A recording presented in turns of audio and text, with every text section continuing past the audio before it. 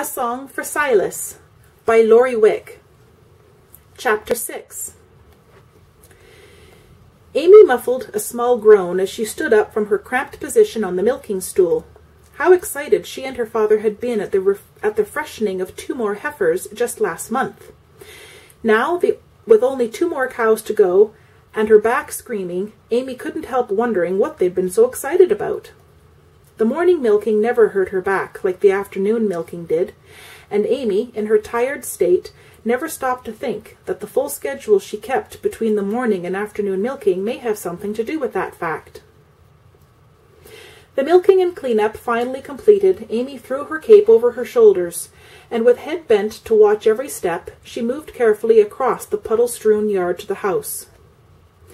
Dr. Schaefer was scheduled to see her father some time that night, and Amy wanted to be present. Not until Amy was on the porch did she look up to see if Doc's carriage was in the yard. Although on this rainy night he would probably have come right into the barn, Amy peered through the rain-darkened evening for signs of him and saw none. Satisfied she had finished before he arrived, she went in to check on her father. Grant sat back against the pillows of his bed, and heard the front door open and close. He waited patiently, without calling, knowing Amy would come to check on him as soon as she was dry. The pain was only a dull ache, but the frustration was ever present. Having to stay in bed while his daughter did his work was almost more than he could bear. Doc should be here any time, Dad. How about some supper? Amy spoke as she entered the room and sat down gently on the bed, moving carefully so as not to jar his leg. Let's eat after he comes. First, tell me, is there any trouble with the cows? Amy was accustomed to this question. Even when her father had been in great pain, he asked after the cows. He went on before she could answer. I hate to see you go out in this rain. You didn't get a chill, I hope. Amy almost laughed over the fact that he had asked about the cows before checking on his daughter. He was like an over-anxious mother where those cows were concerned but considering they were the source of family income, she couldn't say as she blamed him. The cows are fine, including the latest milkers, who are doing great. Everything is closed up for the night, and I didn't catch a chill. Amy recited quickly, hoping she had omitted nothing, and that his worries would be eased, but a funny look came over his face. Amy, am I driving you nuts? Amy was so surprised by this question she laughed outright. Outright. Dad, she gasped, what in the world are you talking about? But he didn't join in her merriment, and she tried hard to pull a straight face. When have I ever had trouble milking? If there was a problem, you'd be the first to know. And the second you start to drive me crazy, you'll also be the first to know. This brought a small smile to Grant's face, and he asked, You're sure everything is fine? Positive, Amy said with a smile. How's the leg? Better, much better. It usually throbs in the night, so I'm afraid you'll have to get used to sleeping the days away for a bit longer. Well, as much as I'd like to see you out of that bed, I'll tell you, I'll tell on you in a hurry if you rush things. I'm sure you will. You're as bossy as your mother was. They both laughed at this. Maureen Nolan had been the most unbossy woman on the face of the earth. Old Doc Schaefer arrived as Amy was fixing supper. He readily agreed to stay for the meal, and the amount of stomach stretching his binders gave proof that he rarely turned down such offers. Doc checked Grant over and was pleased to see him progressing so well. Between Amy and the doctor, Grant was able to eat at the kitchen table for the first time in nearly two weeks. Conversation was light-hearted for most of the meal, and having escaped the bed, Grant was in high spirits. Over coffee and dessert, Doc Schaefer asked a surprising question. Have you heard? Carletons were robbed last night. Robbed? Amy was incredulous. What in the world was there to steal? Amy's question was valid. The Carletons had a very small farm and usually had a hard time making it from month to month.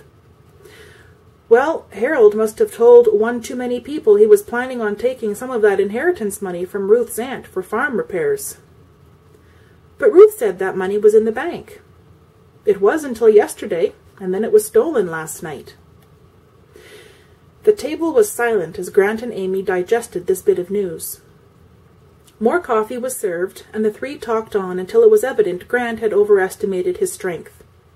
The rain had not let up, and so as soon as they had Grant settled back in bed, Doc took his leave. He and Amy talked for a bit, but with the rain continuing, Amy wanted to get out and check the stock one last time before settling in for the evening.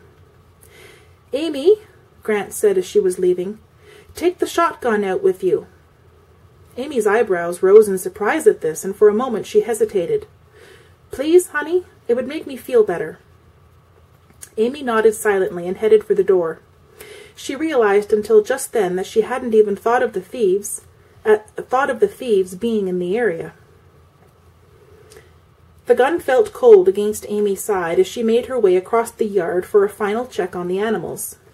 She tried to squelch the fear she felt as she stepped carefully around the puddles, but to the desire, but the desire to do double checks on the shadows was a temptation.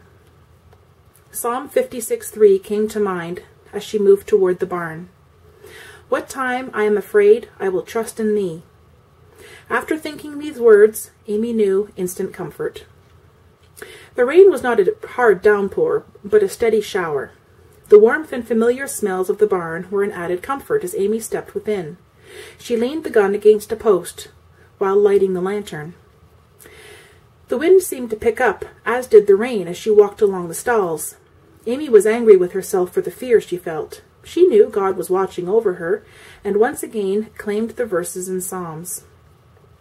Everything was in order, and Amy had just blown out the lamp and picked up the gun when the door was opened wide. Having just ridden in the dark, Silas was a few steps into the barn before his eyes made out a lone figure pointing a gun at him. He froze and felt his heartbeat accelerate. He had wondered how he would be greeted at the Nolan farm, but this was ridiculous. State your business, mister, and do it quickly. The voice speaking from behind the gun was high-pitched with fear, but Silas recognized it. I'll state my business, Amy Nolan, You've got exactly two seconds to get that gun pointed in another direction, or I'll do it for you.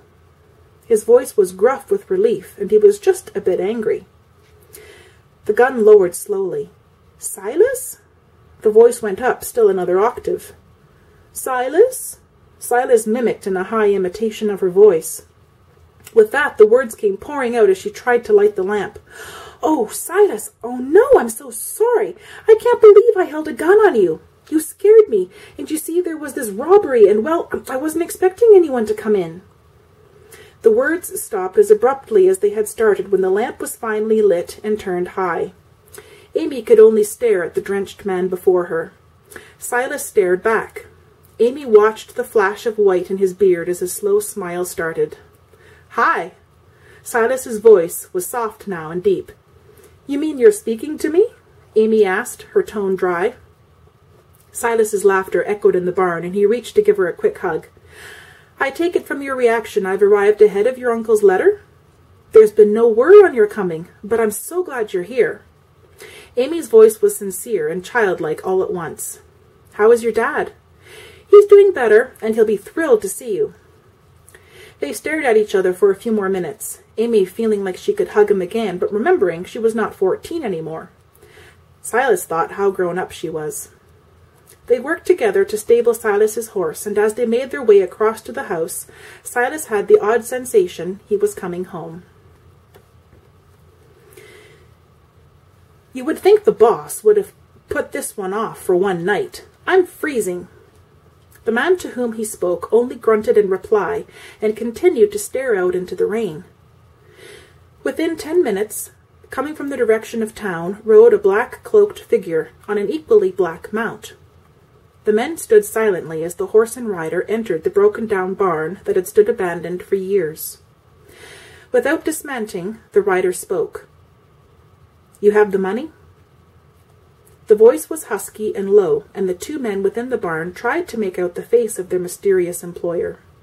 The turned-up collar of the cloak, along with the low-brimmed hat, kept the rider's identity as dark as the night. Wordlessly, bags were exchanged, a large sack was handed up to the rider and quickly concealed beneath the cloak. Anticipating the next move, the two men caught small bags as they sailed from atop the horse. The clink of coins as the bags landed in the outstretched hands was the only sound made as the two men watched the rider turn the mount and disappear into the wet gloom. Who do you suppose he is?